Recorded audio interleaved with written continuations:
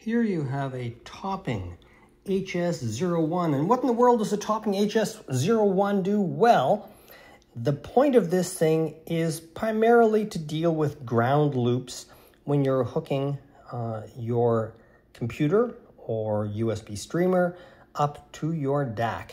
Uh, I not don't believe it actually does any uh, cleanup of the signal beyond that. I think primarily it's a ground loop. Uh, and I have found that it did help in a couple of instances where I, I noticed it, it, just seemed a little bit noisy. Uh, and I put this in and it just seemed to clean it up a little bit. But for the most part, when I put this device in, it doesn't make a huge difference.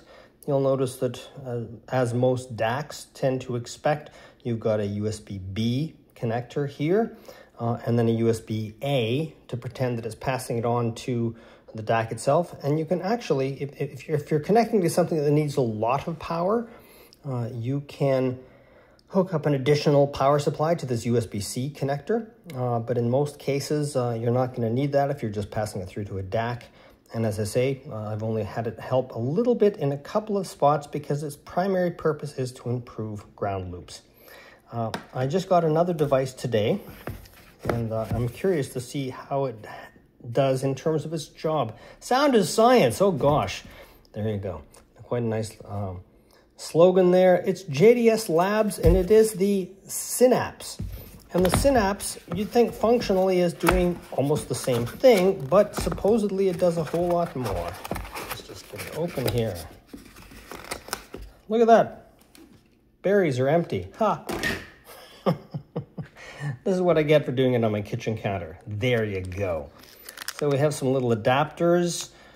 We have a little USB-C to USB-C cable because this device only does USB-C. So you've got that little cable to give with you. It's a beautiful red color and this particular one is the cast aluminum container.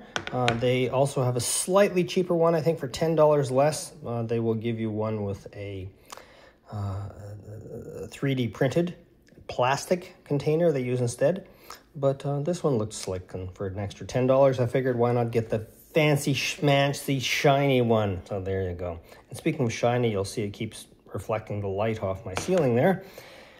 The difference between these two devices is that this thing has a brand new chip in it from, I believe it's Texas Instruments. And from what I understand, it's about a $50 chip or something. And the purpose of that chip is to be an all-in-one galvanic isolator for USB signals.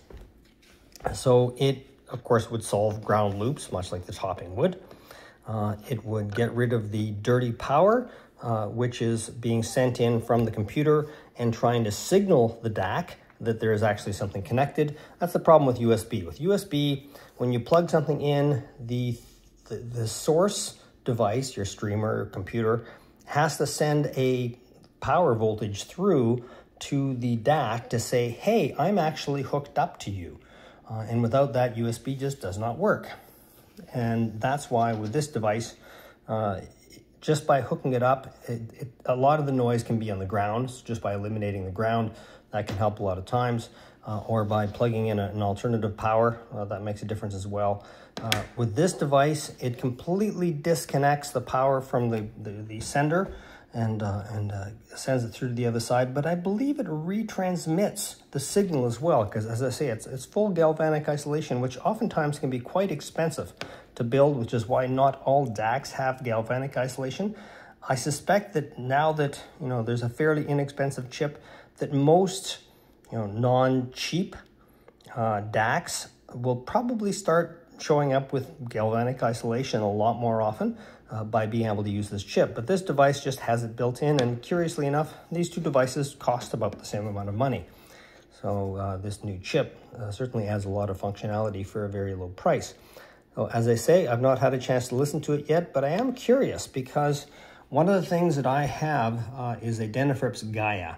It's a digital to digital converter, and, and one of the benefits of that is it'll take the USB in, like this does, but then it fully reclocks it and sends it back down the chain. Uh, not as USB though, it sends it down as, uh, as either I squared S or AES EBU or SPDIF or whatever you happen to want. Uh, but I wonder with this device simply retransmitting it and then providing full galvanic isolation, I wonder how close it could get as far as the benefits that the uh, Gaia gives uh, to the system. So uh, I'm going to do a direct head-to-head -head at some point between it and, and uh, between this thing and the Gaia. I don't think there's any point in comparing it to this one because as I say, this is a hit and miss thing. If you've got a problem that it can solve, then it can solve it.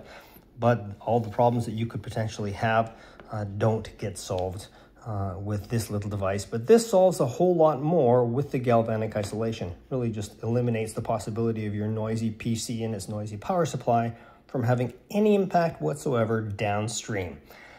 And that's good enough for now. Have yourself a great evening. Hope you enjoyed a little bit of insight into this device, and I will post another video later if I discover that it's better than sliced bread and can actually do wonderful, wonderful things to your sound. And if it doesn't do anything useful at all, or if I'm just too busy, you may not see a video on it later. Anyway, hope you're having a good evening. Bye-bye.